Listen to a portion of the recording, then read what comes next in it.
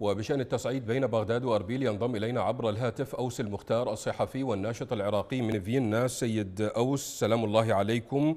بداية يعني كيف تقرأ تكليف العبادي للفريق عبد الأمير الزيدي لقيادة عمليات ما وصفها بفرض القانون في مناطق كردستان العراق؟ السلام عليكم ورحمة عليكم الله السلام وبركاته. ورحمة الله وسلم. آه، الحقيقة الوضع الحالي ما بين آه، بغداد وكردستان وضع متأزم جدا. نعم. والغاية هو آه، تصعيد الفتنة بين الشعبين الشعب الكردي والشعب العربي في في العراق. لذلك ما تقوم به حكومة بغداد هو محاولة صب ال- الوقود على النار لتأجيج هذا الصراع. حكومة بغداد تسير وفق منهج إيراني في آه، استهداف جميع مكونات الشعب العراقي وإحداث تغيرات ديمغرافية داخل العراق لذلك كل خطوات التي تقوم بها حكومة بغداد هي بتوجيه أمريكية مهم. أه، سيد أوس يعني العبادي دائما نراه في تصريحاته يدفع إلى التصعيد مع كردستان العراق خاصة أن هناك أه، يعني إرادة دولية نحو الحوار والتفاوض على رأسهم كانت الولايات المتحدة تدعو إلى الحوار لكن من المستفيد الآن من هذا التصعيد سيد أوس؟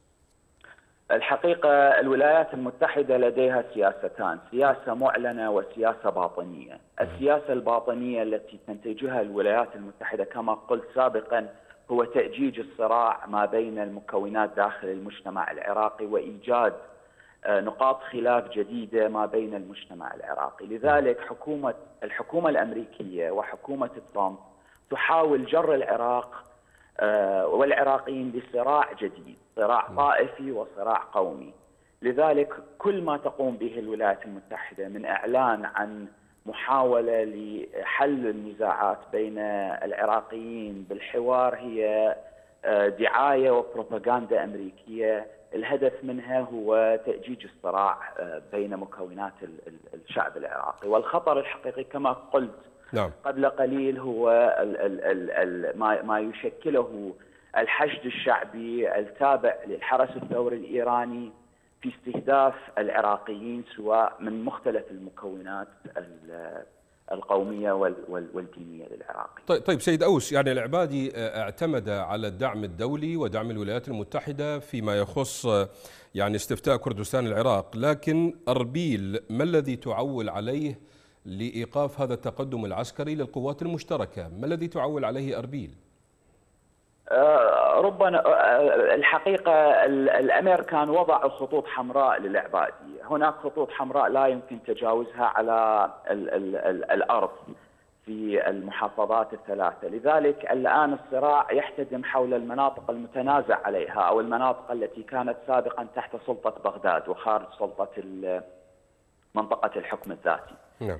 لذلك آه، يعني هناك التزام آه، أعتقد وهناك صراع سياسي. آه، حكومة إقليم كردستان تحاول بالذات السيد البرزاني يحاول أن يحقق مكاسب سياسية. نعم. هناك تنافسات سياسية داخل منطقة كردستان وأحزاب سياسية ترفض حكم العائلة سواء كانت عائلة البرزاني أو عائلة الطلباني لذلك يحاول أن يحقق مكاسب سياسية آه، تعتبر مصيرية بالنسبة لبقائه آه، ضمن السلطة في إقليم كردستان. وبغداد كذلك تحاول أن تحقق مكاسب سياسية.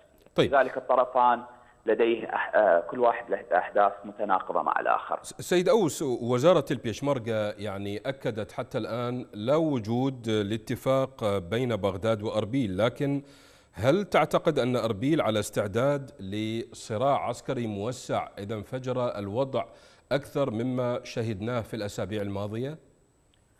آه، أربيل لا تستطيع القتال وحدها. هناك آه، آه، بدون دعم دولي. والدعم الدولي يعني هناك شروط لدعم دولي لأربيل. ربما في المستقبل حينما تحاول الولايات المتحدة فرض ضغوط على إيران خصوصا بالنسبة للبرنامج النووي الإيراني ستكون هناك حرب في شمال العراق حرب بالبروكسي ما بين الميليشيات الإيرانية وحكومة أربيل.